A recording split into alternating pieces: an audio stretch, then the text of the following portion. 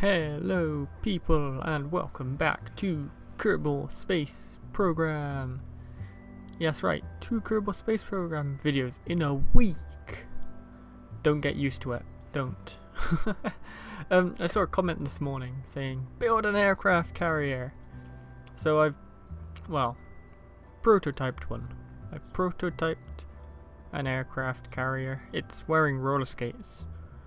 It's an aircraft carrier wearing roller skates. So I haven't tried it yet. I just know it goes backwards and forwards. I know that much.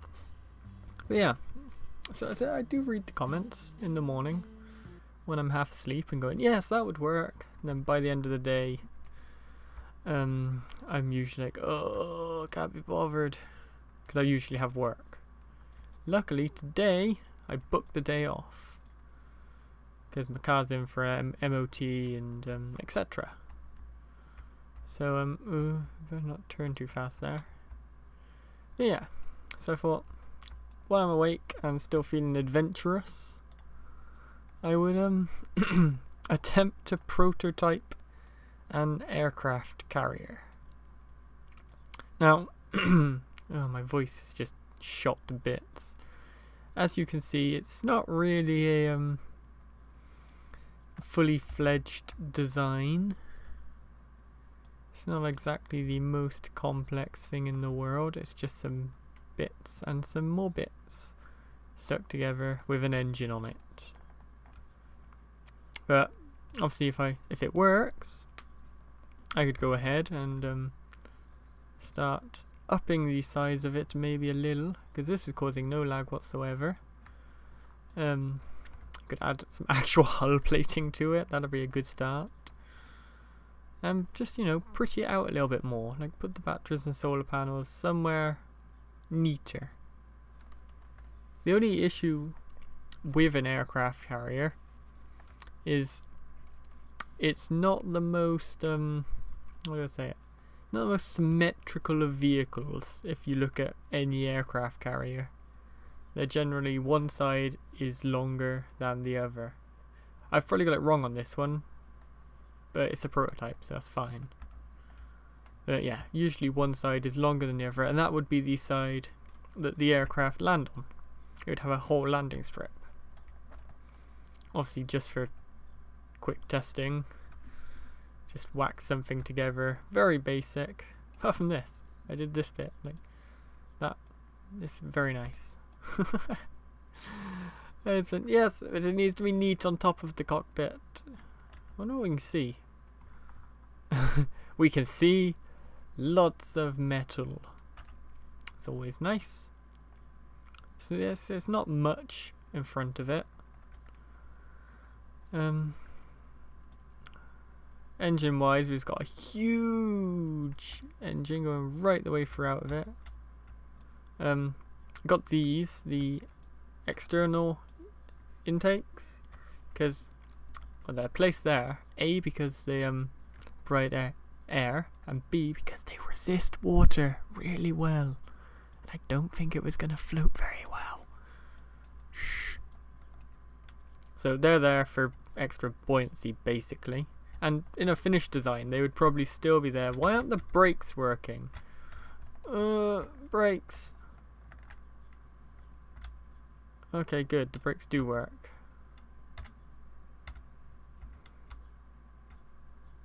Yes, take a while because it's so freaking big. This is going to be getting this into the water in one piece because the front is going to want to start floating before the back by a long way. So it's going to be interesting. I'm probably going to do it very, very slowly. Like, yeah. When I say slowly, I mean like, yeah, 2 meters per second slow. Alright, now even less. Float. Good. Accelerate, push the back in. Cool. Right, so those wheels are now gone. Uh, now I want to engage engine and just slowly push ourselves out of the debris. Looks like that one is actually stuck to us. Yeah, we have one a little bit stuck. Let's try and wiggle it off.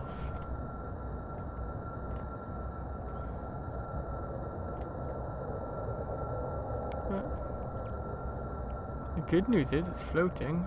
I'm not sure if it's that that's pushing us up. Yeah, if I go four times, because things um,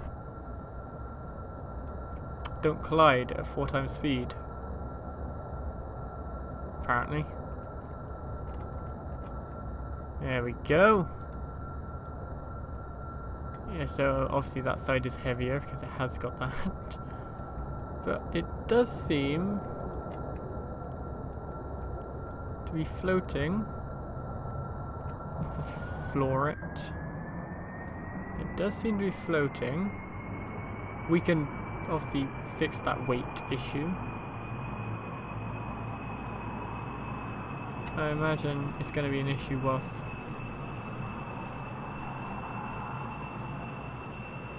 we can get 1.5 meters per second.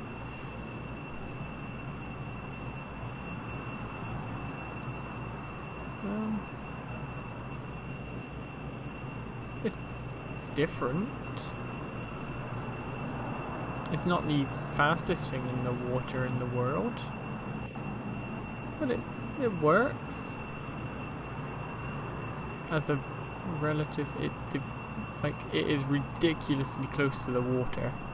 This side, look at that, it's literally touching. And now if I cut engines and we try and go over to there he is. Kerbal swim. About to find out. I think they can. Yeah, Kerbals can swim. Oh god, this is gonna take a while. Can we fast forward? can't fast forward anymore.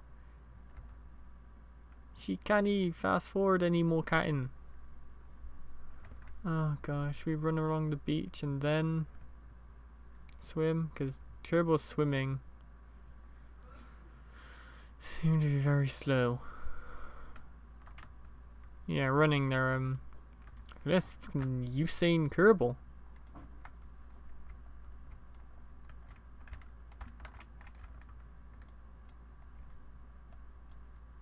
I reckon I can swim on board of that boat.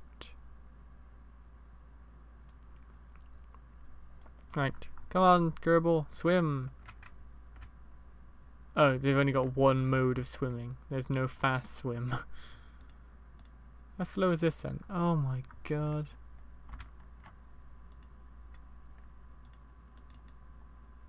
That is my target. 110 meters away. Go! Swim! Swim! Swim! Swim! Swim! Swim! Huh! Swim! Huh! Swim! Huh! Swim! I don't know what that fuck that was. Um.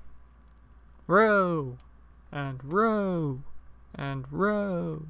And.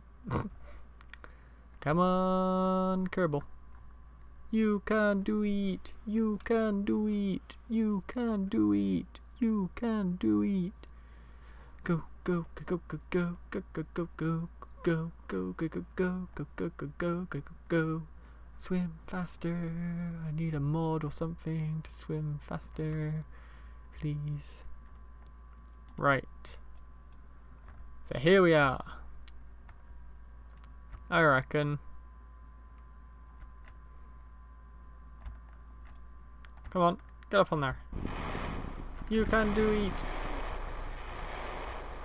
You can do it.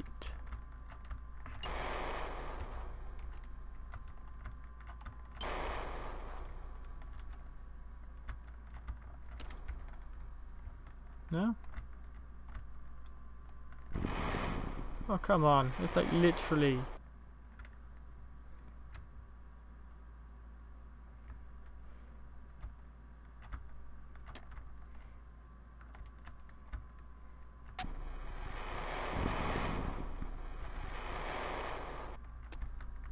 Come on.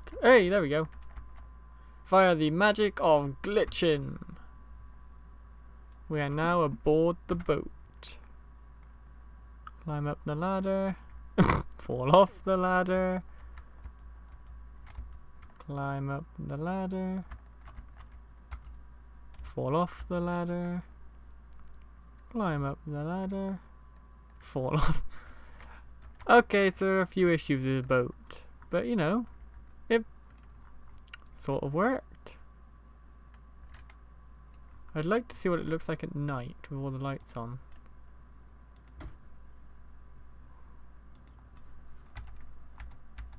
If I go back to, um, yeah, the boat, turn all the lights. Jays! And then go! There we go. Jeez, that is a, um, that's a lot of light you have there. yeah, no doubts. The Kerbals will be able to see where they are landing, and the boat will be able to see where it's going. For quite a distance, yes. Cool, so that could work. I will actually look into um trying to create some sort of aircraft carrier from stock parts then. Hmm, that could be an interesting challenge. So until then, goodbye.